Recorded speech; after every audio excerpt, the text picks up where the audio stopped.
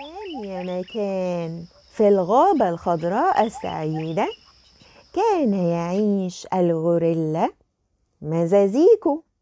أوه أوه أوه أوه أوه وكان كل حيوانات الغابة لديهم أصدقاء إلا أن مزازيكو كان وحيدا وحزينا لأنه ليس لديه صديق. مسكين يا مزازيكو. فكانت الفيلة تلعب سويا ويرشون بعضهم بالماء وحتى البومة كانت لديها صديقة والقردة يحضنون بعضهم في سعادة. أما مزازيكو فليس لديه صديق وحتى أطفال القرية كانوا يخافون منه. وكان مزازيكو يتمنى أن يقول لهم أنه ليس مخيف لهذا الحد. فحتى مزازيكو كان يخاف طوال الليل وكان يحلم أن الصيادين سيأتون إلى الغابة ليصطادوه ويأخذوه لحديقة الحيوان.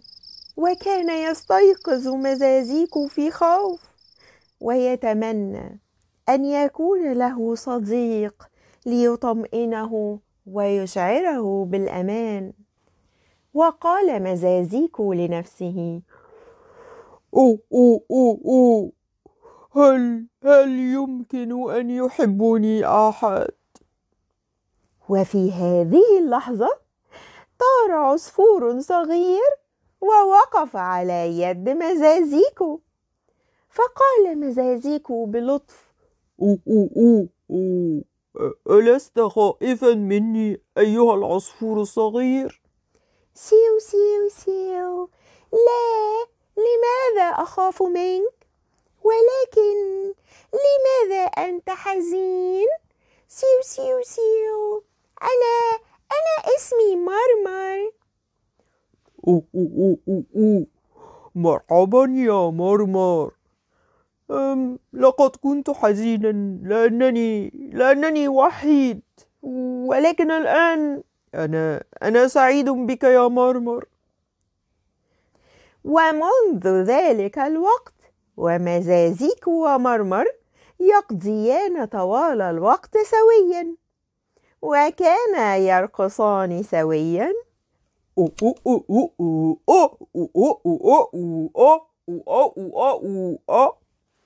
ويتأرجحان سويا على الأغصان.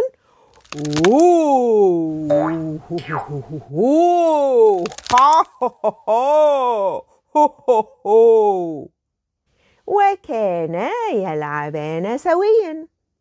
فيختبئ مرمر ويبحث عنه مزازيكو. أوه أوه أوه أين أنت يا مرمر؟ سأجدك يا مرمر.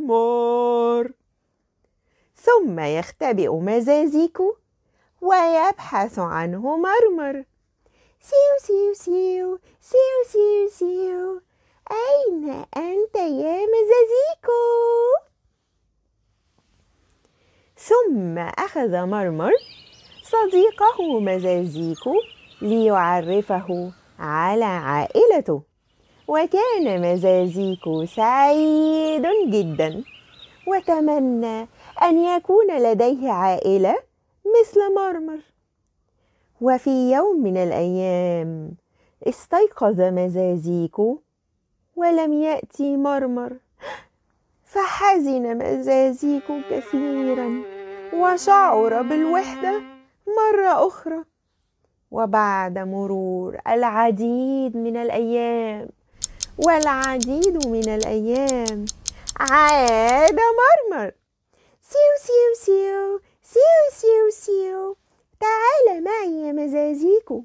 أوه أوه أوه إلى أين يا مرمر؟ إنها مفاجأة. هيا هيا أتبعني. سيو سيو سيو سيو سيو سيو. وبالفعل ذهب مزازيكو وهو سعيد خلف صديقه مرمر. وبعد دخولهما لأعماق الغابة قال مرمر سيو سيو سيو سيو. مزازيكو أقدم لك زيكا. فلم يستطيع مزازيكو أن يصدق عينيه. لقد وجد أخيرا غوريلا مثله.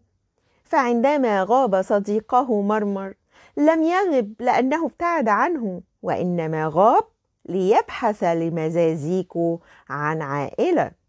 وأصبح مزازيكو سعيدا لأنه لن يكون وحيدا مرة أخرى. وأصبح مزازيكو لديه عائلة مكونة من زوجته زيكا وابنه زيكو وصديقهم المفضل مرمر. وبذلك يا أصدقاء نتعلم أننا نجد السعادة في وجود العائلة والأصدقاء. الصديق نقضي معه أوقات جميلة والعائلة تشعرنا بالدفء والأمان. والحنان.